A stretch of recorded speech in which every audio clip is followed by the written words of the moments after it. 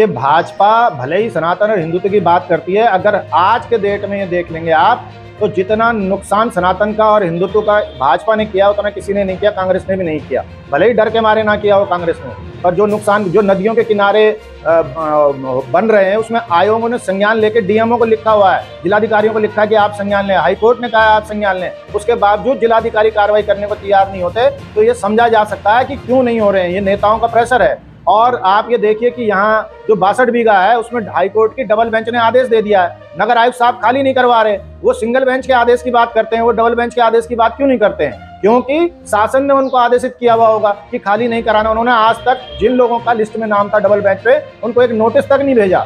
आप बात करा रहे हैं कि लव लैंड जिहाद की लैंड जिहाद तो ये खुद करा रही है भारतीय जनता पार्टी ये खाली नहीं करवा पा रही सार्वजनिक स्थल की भूमिया और तरह तरह के बहाने इनके अधिकारी बनाते हैं। तो ये भारतीय जनता पार्टी लैंड जिहाद की बात करके खुद ही लैंड जिहाद करवा रही है।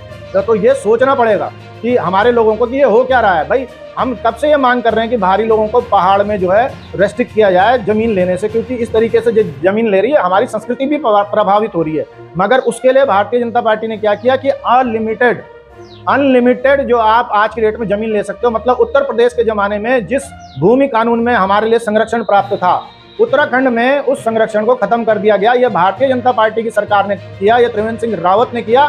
धामी सरकार इसे पलट नहीं पा रही तो इससे बड़ा उदाहरण क्या है कि हिंदुओं को खत्म करने के लिए इन्होंने पूरी आज़ादी दे दी है कि बाहर से मुसलमान भी आए और यहाँ जितनी चाहे उतनी ज़मीन खरीद ले। तो भाई लैंड जिहाद कौन करा रहा है? भारतीय जनता पार्टी तो करा रही है लैंड जिहाद नहीं तो रेस्ट्रिक्शन क्यों नहीं लगाती हमारे लोगों को बचाने के लिए? कोई रेस्ट्रिक्शन उठाया क्यों उसने जब उत्तर प्रदेश के जमाने से वो लागू था? उत्तर प्रदेश में तो कोई दिक्कत नहीं हुई। उत्तराखंड में भी इतने अठारह सालों में कोई दिक्कत नहीं हुई। तुम्हें क्यों दिक्कत हो गई?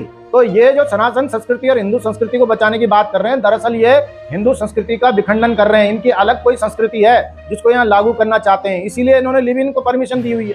बताइए, आप हिंदू हितों की बात करते हुए सरकार में आए हैं और हिंदुओं के खिलाफ ही काम कर रहे हैं जो हमारी संस्कृति में कहीं भी मान्य नहीं है। और उस लिव इन को आप दे रहे हैं, प्रोत्साहन कांग्रेस नहीं दे रही।